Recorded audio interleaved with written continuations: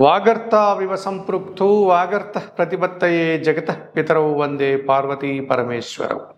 నదే సర్వవిద్యానాం విసజే భవరోగినాం గురవే సర్వలోకానాం దక్షిణామూర్తయే నమ. సుప్రభాతం ఛానల్ ప్రేక్షకులందరికీ నమస్కారం.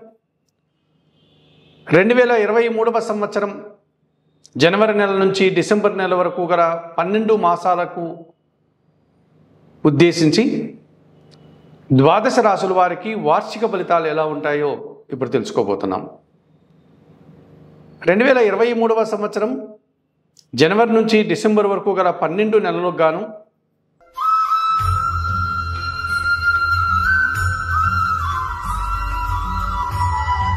రెండు వేల ఇరవై మూడు జనవరి డిసెంబర్ సంబంధించినటువంటి పన్నెండు మాసాలకు గాను మకర రాశి వారికి వార్షిక ఫలితాలు.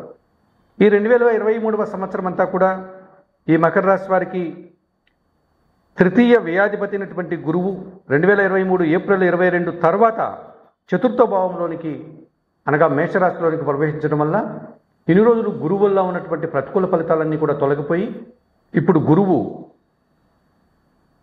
అర్ధశుభుడుగా అనగా మిశ్రమ ఫలితాలు ఇవ్వడానికి అవకాశం ఉంది. గురువు ఈ మకర రాశి వారికి తృతీయాధిపతి మరియు వ్యయాధిపతి అయినప్పటికీ కూడా ఈయన చతుర్థ భావంలో సంచరించడం వల్ల కుటుంబంలో శుభకార్యాల ప్రస్తావన నూతన గృహప్రవేశము అలాగే కుటుంబ సభ్యులతో సఖ్యత వృత్తి ఉద్యోగాల్లో మంచి అభివృద్ధికరమైనటువంటి ప్రోత్సాహక ప్రోత్సాహకాలు ఇలాంటివి రావడానికి అవకాశం ఉంటుంది. ఆర్థికంగా బలాన్ని పుంజుకోగలుగుతారు. ఆరోగ్యంగా కూడా ముందుకు వెళ్ళడానికి ఈ మకర రాశి వారికి గురువు చతుర్థ భావంలో సంచరించడం వల్ల మంచి ఫలితాలు రావడానికి అవకాశం ఉంటుంది.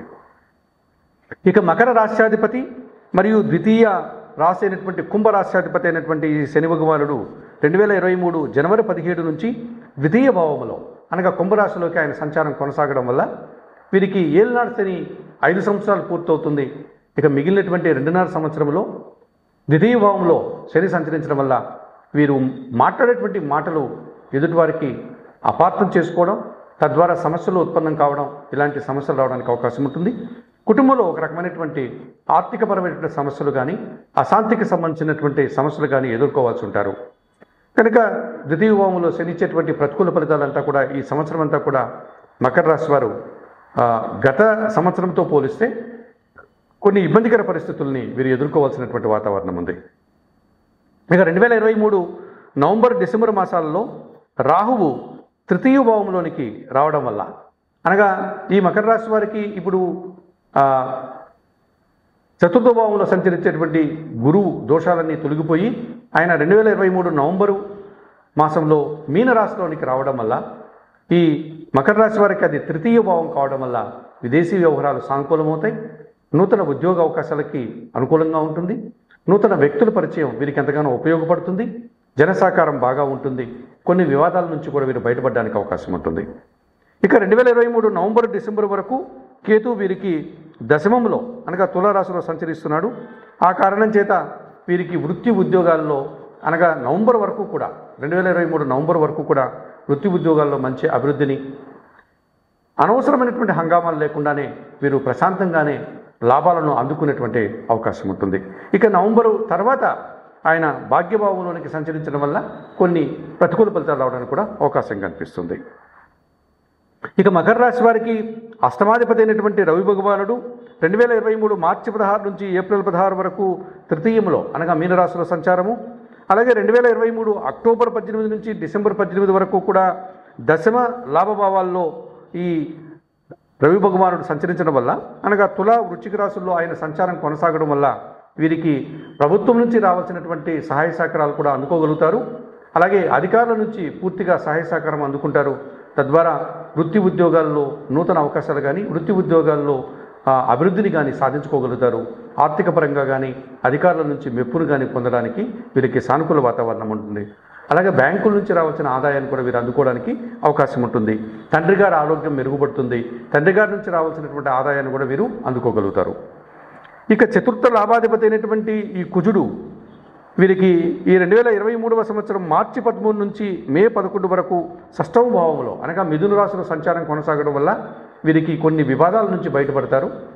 ముఖ్యంగా వీరు కోర్టు కేసుల నుంచి బయటపడే అవకాశం ఉంటుంది. కొన్ని రుణాలు తీర్చుకోగలుగుతారు. కొంతమంది శత్రువులు సైతం వీరికి మిత్రులుగా మారుతారు. వీరు ఆరోగ్యాన్ని కూడా మెరుగుపరచుకోవడానికి అవకాశం ఉంటుంది. అలాగే రెండు వేల ఇరవై మూడు అక్టోబర్ ఆరు నుంచి డిసెంబర్ చివరి వరకు కూడా ఈ దశమ లాభభావాల్లో అనగా తులా వృచ్చిక రాశుల్లో ఈ కుల సంచారం కొనసాగడం వల్ల నూతన ఉద్యోగ అవకాశాలు వృత్తి ఉద్యోగ వ్యాపార సంస్థల్లో వీరికి అభివృద్ధి భూ లాభాలు వాహన లాభాలు అందుకోవడానికి అవకాశం ఉంటుంది. ఈ రెండు వేల ఇరవై మూడవ సంవత్సరంలో మకర రాశి వారికి ఎక్కువగా శుభ ఫలితాలు రావడానికి ఈ సంవత్సరం అనుకూలంగా ఉంది. అయినప్పటికీ కూడా ఈ రెండు వేల ఇరవై మూడవ సంవత్సరానికి గాను వృచ్చిక రాశి వారు కొన్ని పరిహారాలు నిర్వర్తించుకోవడం వల్ల మరింతగా మంచి ఫలితాలు పొందడానికి అవకాశం ఉంటుంది. ఇందులో ప్రధానంగా ద్వితీయంలో సంచరించేటువంటి ఈ శని దోషం నుంచి బయటపడడానికి మకర రాశి వారు ప్రతి శనివారము ఆంజనేయ స్వామి ఆలయానికి వెళ్ళి తమలపాకుల పూజ నిర్వర్తించండి. అలాగే గోవులకు సేవ చేయండి. నిరుపేద వృద్ధులకు ఆహార పానీయాలు అందించండి. ఇక చతుర్థంలో ఉన్నటువంటి రాహువు రెండు వేల ఇరవై మూడు నవంబర్ వరకు చతుర్థ భావంలో మేషంలో ఉంటున్నాడు కనుక ఈ రాహువు ఇచ్చేటువంటి ప్రతికూల ఫలితాలని అనుకూలపరచుకోవడానికి మీరు ప్రతినిత్యం కనకదుర్గాదేవి ఆలయానికి వెళ్ళి అమ్మవారిని దర్శించుకొని అమ్మవారికి వీలైనప్పుడల్లా కూడా ఒక ఎర్రటి పూలమాలను సమర్పించి కుంకుమార్చనాది పూజాది కార్యక్రమాలు నిర్వర్తించుకోండి. అలాగే ఈ అష్టమ రవి దోషం నుంచి బయటపడడానికి నిత్యం ఆదిత్య హృదయం పారాయణం చేయండి. ఉదయం నిద్రలేసిన వెంటనే సూర్య భగవానుడికి నమస్కరించుకోండి. నిరుపేదలకు నెలలో ఒక ఆదివారం రోజున ఒక కేజీ గోధుమ పిండి దానం చేయండి. అలాగే ఈ కుజదోషం నుంచి బయటపడడానికి మకర రాశి వారు ఈ కుజగ్రహానికి అధిష్టాన దేవత అయినటువంటి సుబ్రహ్మణ్య స్వామికి మంగళవారం రోజున అభిషేకాలు నిర్వర్తించుకోవడం ఎర్రటి పూలతో స్వామివారిని అలంకరించుకోవడం ఎర్రటి పళ్ళను నైవేద్యంగా సమర్పించడం సుబ్రహ్మణ్య కరావలంబ స్తోత్రం కానీ సుబ్రహ్మణ్య భుజంగ స్తోత్రాన్ని కానీ పారాయణం చేసుకోవడం వల్ల వీరు శుభఫలితాలు రావడానికి అవకాశం ఉంటుంది. రెండు వేల ఇరవై మూడవ సంవత్సరానికి గాను సుప్రభాతం ఛానల్ ప్రేక్షకులు ఈ మకర రాశి వారు చెప్పిన విషయాలని స్వీకరిస్తూ పరిహారాలు పాటిస్తూ ఆయుర ఆరోగ్యాలతో ఆర్థికాభివృద్ధిని పొందాలని మనస్ఫూర్తిగా కోరుకుంటూ సర్వే జనా సుఖినోభవంతు నమస్కారం.